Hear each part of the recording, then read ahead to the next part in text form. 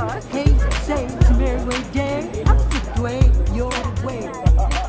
Sun is up. Happy, happy, happy day. Love, love, love, way. Aha, there she is. You are the female Santa, they told me. No, actually, I'm the Beyond Christmas Mobile Angel. My name is BJ Kelly, and I'm the founder and director of what's called Beyond Christmas.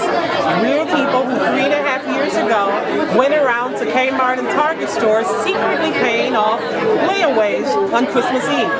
The reason we did that is because we figured anyone who waited until Christmas Eve to pay off their layaway, it was simply because they didn't have the funds to pay for it in advance. Even after or beyond Christmas, we continue doing random acts of kindness and spontaneous acts of compassion. You're on the Beverly Hills Shaman, and you have just done what we call shamanizing because you are living the, the life of a shaman by doing good deeds. So, blessings. It's great to meet you, and it's our honor to have you here today.